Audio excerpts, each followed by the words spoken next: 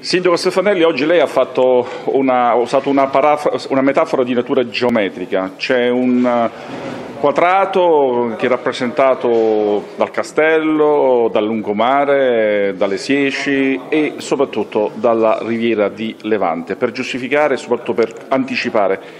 la pubblicazione di questo concorso internazionale di idee proprio per la riqualificazione della sponda destra del Garigliano. Sì, in realtà è un triangolo, è un terno di una triade di progetti su cui stiamo lavorando ed è anche una triade di luoghi. C'è il centro storico di Minturno con il progetto del castello che è già avviato, ha passato la prima fase, è in corsa per un finanziamento importante dalla Regione Lazio con l'idea di farne un grande attrattore culturale che racconta il nostro passato in una chiave con delle tecnologie moderne, intorno al quale ricostruire lo sviluppo del centro storico storico di Minturno. C'è l'area archeologica, il Garigliano, il progetto, il bando di idee, il concorso di idee che abbiamo avviato oggi e la collaborazione eh, sull'area archeologica per eh, far ripartire la riviera di Levante. Poi c'è il terzo punto, ter la terza eh, eh, mole di progetti che riguarda il lungomare, il waterfront, il lungomare di Scalo e di Marina con la riqualificazione del, del grande complesso delle Sieci. Il primo è già Castello è già molto avviato, sul secondo oggi abbiamo messo un altro punto importante, ma in queste settimane ne stiamo mettendo tanti con gli scavi archeologici, i lavori di recupero del ponte borbonico, sul lungomare abbiamo lavorato, adesso non, non ci manca di avviare un progetto sulle Sici che già abbiamo, dobbiamo semplicemente individuare le migliori forme di finanziamento o comunque trovare le forme di collaborazione. In tutti e tre questi percorsi camminiamo insieme alla sovrintendenza, camminiamo insieme, non contro, non distanti, ma insieme, proprio a dimostrazione che eh, vogliamo valorizzare non solo eh, riavviare dal punto di vista economico, ma anche, anche e soprattutto valorizzare dal punto di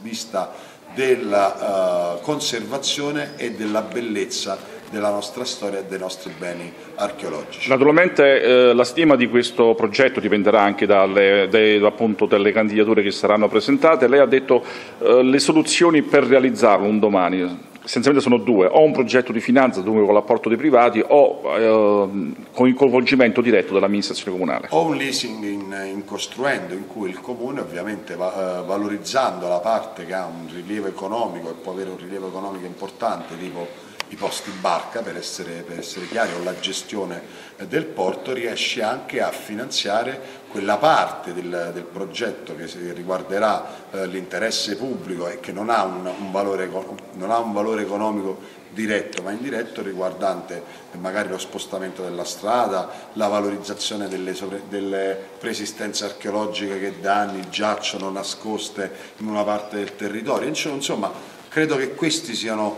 i due canali, o il leasing in costruendo o il progetto di finanza, ma questo dipenderà anche molto dalla idea progettuale che si aggiudicherà il bando di concorso che per la prima volta viene pubblicato e viene avviato nella nostra amministrazione e di questo do atto anche all'assessore Bembo e al dottor Salao di aver avuto l'idea, di aver avuto anche la pazienza di, di, di lavorarci sopra e facciamo un bando di idee proprio perché non vogliamo prendere un professionista, non vogliamo scegliere l'amichetto, non vogliamo scegliere il luminario dal grande nome, ma vorremmo avere la possibilità di scegliere l'idea migliore. Dottoressa eh, Bellini, lei è stata per tanti anni apprezzatissima responsabile del complesso archeologico di Mintuno, ora naturalmente lavora per la sovrintendenza archeologica del, eh, del, Lazio. Le faccio una domanda un po' cattivella perché è un progetto importante, bisogna credere anche nei sogni, come dice il sindaco Stefanelli, ma qui bisogna mettere attorno a un tavolo 17 enti.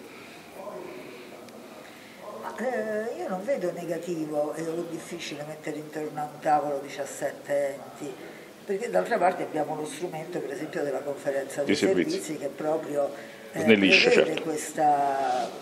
Il, il punto è che di sollecitare l'interesse di questi enti, gli enti devono capire che questo è veramente il, il futuro di quel territorio in particolare di Minturno in, in generale. Il motivo per cui io sono stata sempre assolutamente, palesemente contraria agli attracchi folli eh, sulla sponda destra del Garigliano è stato perché venivano usati, e consentitemi un termine improprio, come parcheggio delle barche. Noi assistevamo, so che si dice ormeggio ovviamente, noi assistevamo a un certo punto dell'anno, verso maggio, al passaggio di camion pesantissimi che eh, camminavano sulla, sulla, via Puntafiume, che oggi si chiama Ferdinando II di Borbone, per andare a scaricare nel fiume queste imbarcazioni che non costituivano una ricchezza per il territorio, perché erano imbarcazioni che poi uscivano dal fiume per andare altrove il discorso del Garigliano deve essere invece un attrattore di gente che da fuori con le barche di qualsiasi stazza viene a Minturno, risale il Garigliano, ormeggia le barche, porta ricchezza nella zona portuale e nella zona poi che da lì si dirama per tutto ciò che c'è da vedere di artistico, archeologico, enogastronomico, eh, monumentale, per assaporare la bellezza del centro storico di Minturno, che io continuo a chiamare traghetto con la vecchia denominazione, o la bellezza di, di Montedoro, o magari arrivando anche a Gianola. Questo deve essere eh, lo scopo della portualità di Minturno e per questo sono stata sempre contraria agli attracchi lungo il fiume proprio perché sono, erano contrari a questo principio. Ecco, questo concorso nazionale idee, dottoressa Bellini, può confermare anche questa bellissima idea che lei appunto sta esternando, cioè che eh, devono arrivare dall'esterno verso appunto la foce per scoprire questo territorio. C'è questa sufficiente consapevolezza? È maturata questa cultura, dottoressa Bellini?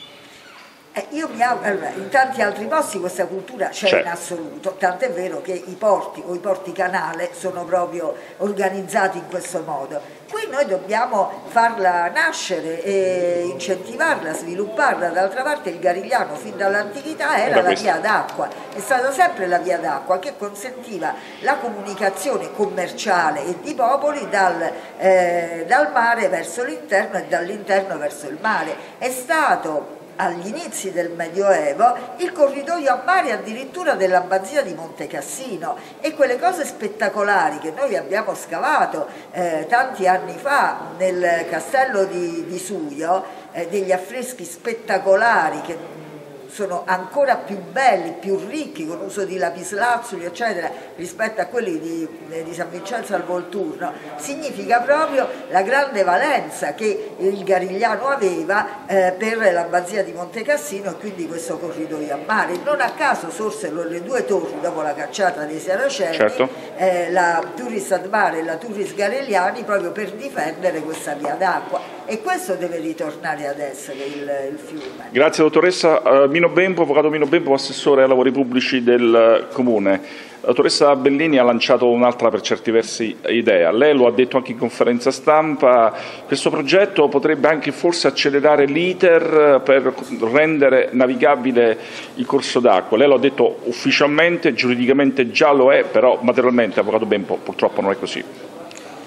Sì, allora eh, la questione della navigabilità del Garigliano è una questione abbastanza complessa, se non molto complessa, semplicemente perché la procedura di liberazione della foce richiede una particolare attenzione per le modalità con cui deve essere effettuata. Ad oggi non esiste ehm, diciamo, un ente che è preposto alla cura della, della foce che quindi possa poi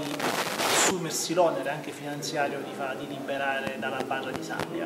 Ovviamente noi andiamo in questa direzione, nel momento in cui questo progetto verrà, speriamo quanto prima possibile, realizzato, questo problema sarà risolto perché eh, assumendo tutti gli effetti una situazione puntuale, la liberazione dell'alto del fiume e della foce sarà una morale si potrebbe tornare a navigare il fiume nell'entroterra come mm, lo è stato per secoli, Avvocato? Io dico di più, si deve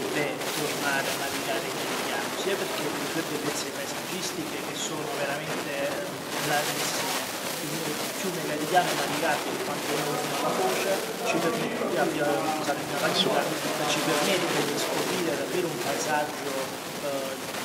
contaminato dalla bellezza veramente naturalistiche davvero improbabili in giro di centinaia di chilometri, quindi è un dovere non solo di questa amministrazione ma anche di tutto il comprensorio investire sulla navigazione.